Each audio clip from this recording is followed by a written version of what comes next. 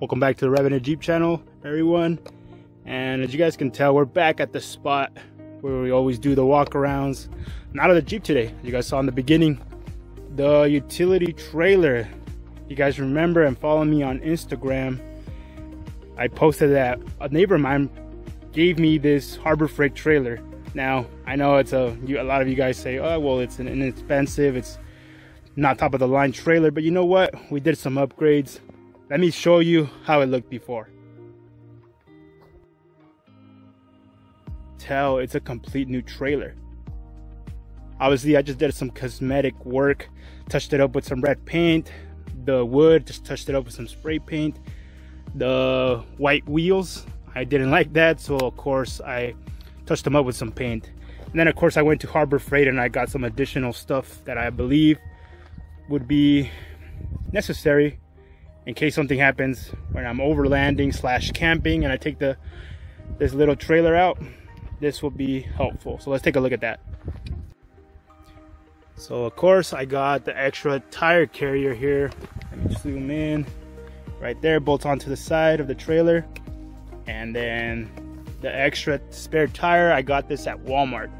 Unfortunately everything was out at Harbor Freight so I had to pay an additional $30 $40 with tax so around under $100.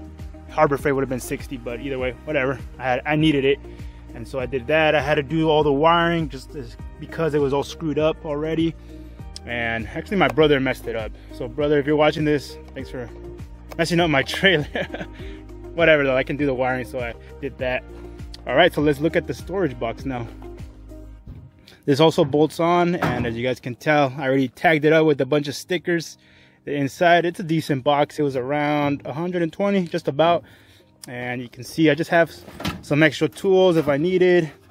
Some lock locking pins all this. Just a bunch of accessories. If I'm on the trail I need all this. The storage box will come in handy definitely. So other than that let me zoom in so you guys can take a close look. You know my videos they always zoom in on the products themselves. So let me know if you have any questions pretty decent box I think. It's not that heavy so. So there we go we have that. Let's go on the other side. All right so here's the kickstand for the trailer. Also from Harbor Freight. Eh, pretty much I got everything from Harbor Freight so good deals on there. Harbor Freight you need to sponsor me. Join with the Revenant Jeep I'll, I'll put up your stuff good stuff. So you can see there on the storage box it's bolted down right there course, you're gonna have to drill inside the storage box to make the adjustments that you need. But other than that, pretty decent right there. That's my setup right there. Other than that, let's look at the trailer now. The trailer has definitely transformed to what it was when I got it. It was beat down and I needed to touch it up just because I don't like my stuff to be looking raggedy. So I definitely changed it a lot. So Mr. Ryan, if you ever see this video, check out the trailer you gave me. I've taken care of it. and uh, Mr. Ryan was actually in the service, so salute to him.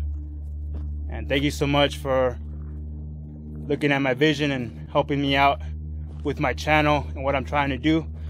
So this is basically gonna be, like I mentioned in the beginning, my exploration slash camping slash overlanding trailer.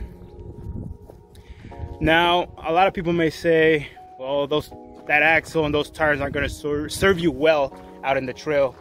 Let me tell you this. Let me show you around. This place ain't exactly the rock crawling status, but when the rain comes down, the roads get very messed up. Now, I'm not talking about this road. I'm saying up this mountain, there's a road on the right side over there. When I first got the trailer, I loaded it up with a bunch of heavy equipment in the back. I estimate around 500 pounds on this trailer. What I wanted to do is I wanted to check it out. So what I did, I ran these tires flat, maybe like 10 PSI, which is probably dumb, you may say. But you know what? I wanted to test them out.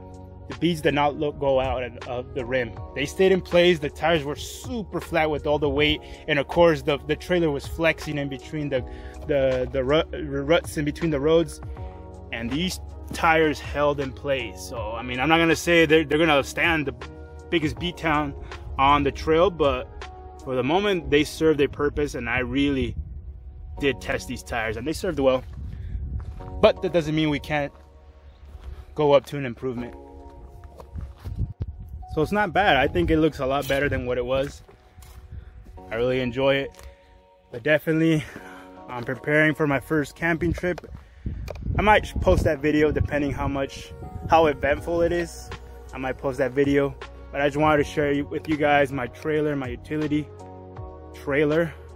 And of course, that doesn't mean we're not gonna upgrade. I have plans. I definitely want to match up the tires on El Jefe here. So I want some mud terrains or even some all terrains would look nice on this trailer. That means there's gonna be some welding involved and a new axle so that I can at least put 31s or 33s on this trailer and it's definitely gonna beef it up a lot more. We're gonna try to weld up the trailer frame to make it stronger and I believe it's gonna look very nice. It's gonna look badass actually, I think. I, I could just vision it in my mind already. Of course, I'm not gonna do the welding because I'm not a welder. I wish I was. But I got some ideas in my in my mind and I think the vision is there. So hopefully down the line you guys are gonna see this trailer uh, expand and just look completely different to what it is right now. But so far I think it's good. So hopefully everything goes well on our next trip. And I might show that video. We'll see though. But hopefully you guys like this trailer. If you have a trailer you know and you built it up it's a good feeling just to look at it seeing how it's been upgraded. And I just think it looks sick. So comment down below what do you guys think. And we'll see you guys on the next video later guys